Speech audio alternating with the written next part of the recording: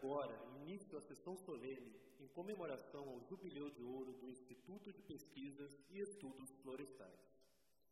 Contamos com a honrada presença do coral Luiz de Queiroz, da Exalc USP, que é composto, que é composto por alunos de graduação e pós-graduação, funcionários e pessoas da comunidade exalquiana. A coordenação e regência do coral é da maestrina Cíntia Pinotti. Convido todos os presentes a ficarem de pé para a execução do hino nacional brasileiro, cuja letra e melodia são de autoria, respectivamente, de Joaquim Osório Duque Estrada e Francisco Manuel da Silva.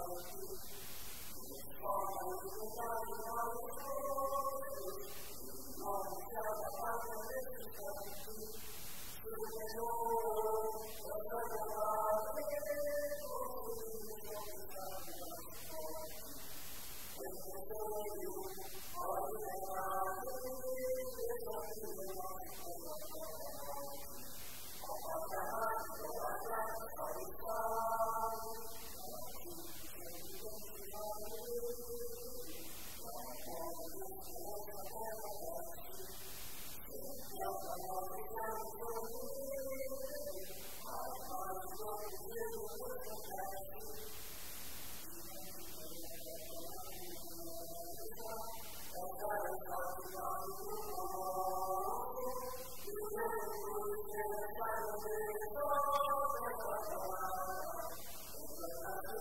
you.